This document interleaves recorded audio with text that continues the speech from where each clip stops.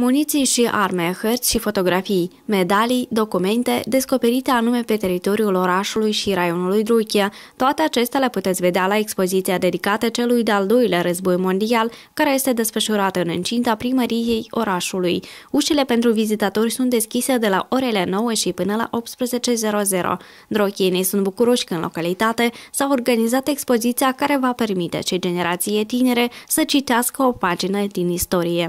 Avem bunei, străbunei care au luptat, dar noi trebuie să prețuim și tineretul să-l învățăm a prețui, să-i spunem cum a fost dreptul, de la mic până la mare, să-i aducă aici să-i povestească și cum a luptat, și cum a pierdut viața, și pentru ce. Такая история, конечно, это печальная история, но она, она нужна для памяти людей, чтобы чтобы люди помнили.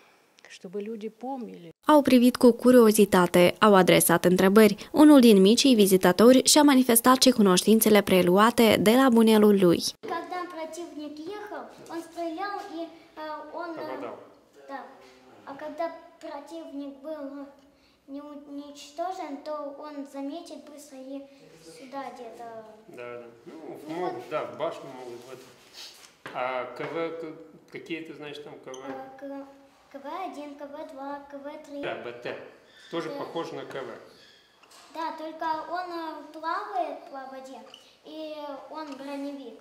Fiecare din exponate este păstrat cu grijă de către Roman Guțu, cui și aparține această colecție valoroasă, despre care poate vorbi ore în șir. Expoziția dată este dedicată deci, istoriei a doi- războiului al doilea mondial, dar uh, spune că ei este specific prin aceea că multe exponate, chiar și, zicem, dacă vedem panourile de alături, sunt uh, uh, hărți, sunt uh, scheme desenate, deci uh, anume legate de localitatea uh, orașului Drochea, de raionul Drochea, adică este o expoziție mai specifică. Uh, Deoarece știm toți că istoria războiului II mondial, istoria războiului pentru apărarea patriei, au fost, uh, chiar și noi în școli când am învățat, erau într-un masștab mai mare. De localități mici, puțin și se cunoștea. Aici mai mult este reprezentată anume istoria zicem, localităților din raion și inclusiv și Droche. Chiar o să luăm, care, chiar zicem mai că un telefon este aici. Deci acest telefon este din turnul de apă de la noi care am putut să-l păstrăm. Și uniforma lucrătorului la- de la califerată. Spital militar să fie așa numit. Și populația pe vremea aceea cunoșteau, vedeau, dar însuși tineretul nu știe. De ce este reprezentat uh, și așa uh, tip de exponate. Plus, uh, chiar zicem, luăm uh, aceleși conserve ca băutură, chiar aceleși ca sunt uh, sigarete. Vedeți, școala este reprezentată, școala perioadei de război și după război, anilor aproximativ până la 50. Este chiar și niște exponate legate de, zicem, cosmetică perioade respective. Invit toți doritorii, nu numai din oraș, cum și-am spus, și din raion, chiar poate și din raioanele vecine care ne văd.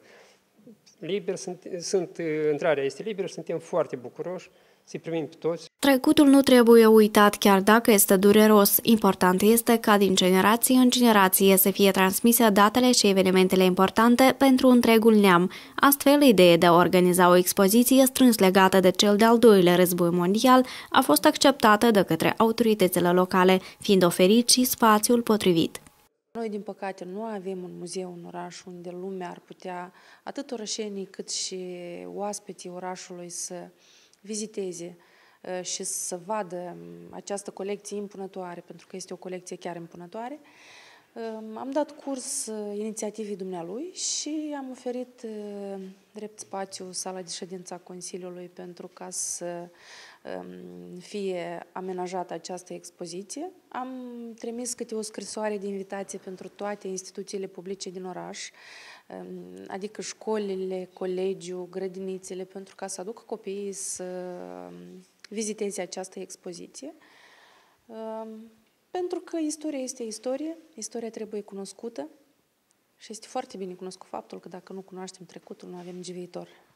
Expoziția prilejuită Zilei Victoriei va putea fi admirată în fiecare zi de la orele 9.00 până la orele 18.00 până la data de 21 mai inclusiv. Intrarea este gratuită. Pentru desfășurarea acestei expoziții, din bugetul primăriei au fost alocați în jur de 5.000 lei.